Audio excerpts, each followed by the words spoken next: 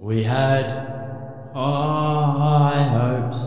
We had what I just got. high hopes. We had high hopes. No. so if you're living under a rock, you would have missed that AFL 23 came out yesterday, and essentially the game was broken. Obviously, I went into Big Ant the week before and played two games or two and a half games. It was it was fine. Like the handballing and tackling was still a little bit iffy. I, I didn't know whether that was because I didn't know the controls or not.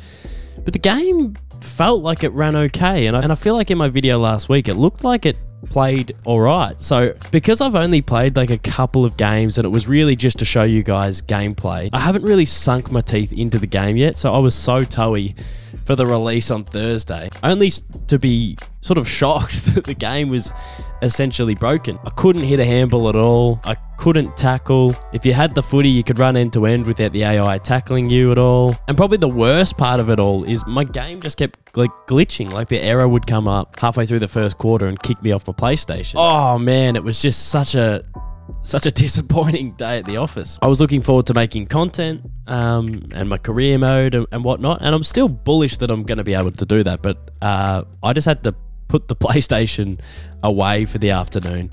Even though there was like talks that patches were coming and it was going to get fixed, it was one of those days where you, you couldn't persevere through it. You just had to park it for the afternoon. And I just feel so bad for everyone involved. Obviously, I got to go through Big Ant last week and I got the tour.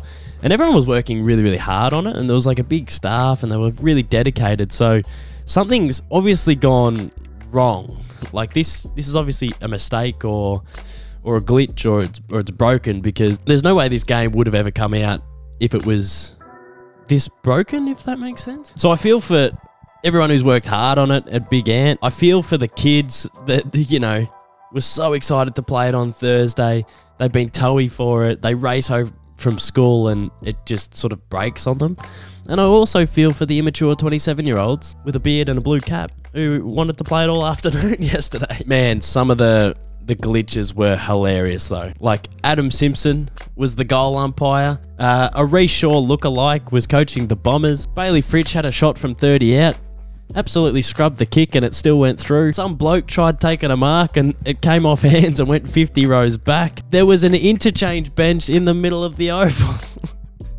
and then I saw Triple Wafer take that image and make it the front cover of AFL 23. So I'm glad that we're sort of getting through this together with humour uh, because it was, yeah, a pretty disappointing and, and frustrating day at the office. Now I'm going to try and go glass half full. The animations, the cutscenes, and the graphics are pretty good. Like, really good, I'd say. So if we just had the brokenness out of the game, and the brokenness should never have been in the release and whatnot, um, and something's obviously gone wrong, but if it wasn't broken, I feel like it'd be an okay game or at least good enough to build off it. And I feel like that's the sentiment of a lot of like the core AFL video game fans. It's like we've got something here, and if it wasn't completely broken, yesterday would have been elite. So I'm bullish that, you know, with some patches, I don't even know what a patch is, but I've seen a lot of people in the forums and on Twitter saying patch this, patch that. But anyway, I'm bullish that with some patches, we're going to get a pretty good game. Like, I'm going to be able to make some content on it. I'm going to be able to play it online against friends. We're going to get a pretty good basic AFL game. So I guess that's best case scenario. Like, if this wasn't a broken game and this is how it got released, we'd all be pretty disappointed, but it's clearly broken. And once it's not broken, we should get an okay game. Does that make any sense? Now, there was a couple of people that started commenting on my Instagram saying that I'm never negative on these games.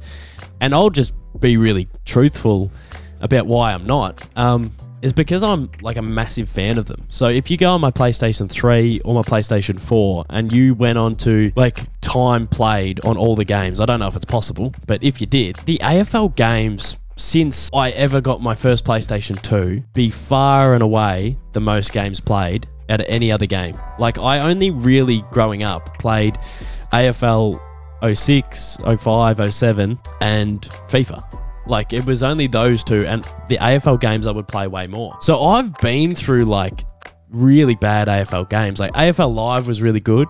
AFL Live 2 was like so glitchy and so horrible, but I would play career mode after career mode. I'd play it by myself. I'd play it all the time. I'd play AFL Live 2 all the time, and that was like a genuinely like broken game. Um, when AFL Evo came out, it's all I played. Like, and I know that that was like glitchy and broken and terrible, but I'm such a fan of AFL games and I love them so much that I'll play through no matter how broken they are. So sometimes people will say, oh, AFL games suck DOS, and you're being disingenuous by not saying negative stuff about them. I think anyone who watches my videos know how much I enjoy these games. And um, as I said, it would be more disingenuous if I was just potting them because that's not actually how I feel about these AFL games. One of the funniest videos I saw yesterday was comedian and impressionist Cody Jones.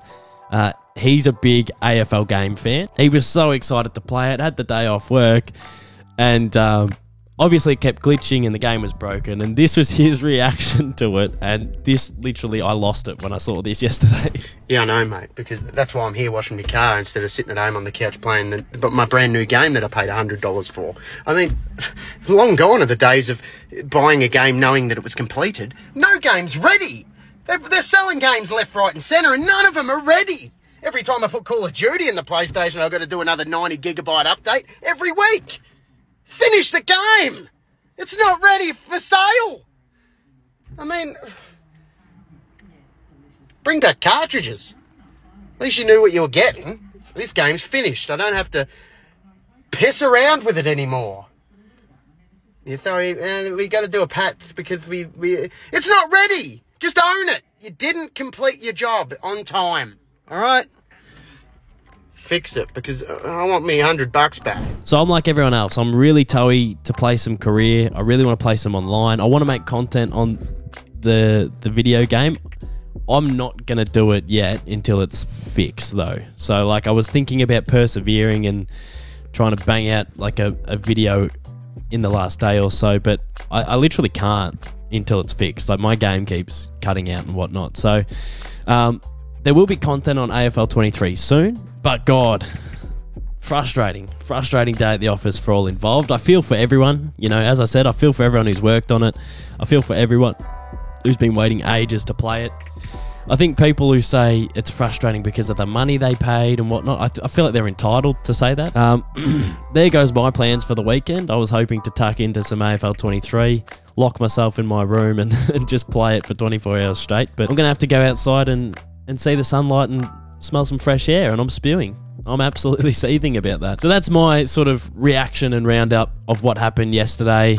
Uh, hopefully there's patches and whatnot soon and I, I can make some content on it. Uh, that'll be really fun. And I, I, have no doubt that there will be. Uh, you know, it'll get fixed and we will have a good footy game soon. Once again, guys, I appreciate all the support. I appreciate everyone tuning in, and I'll see you for some more content. Hopefully, some AFL 23 content very soon. Cheers, guys.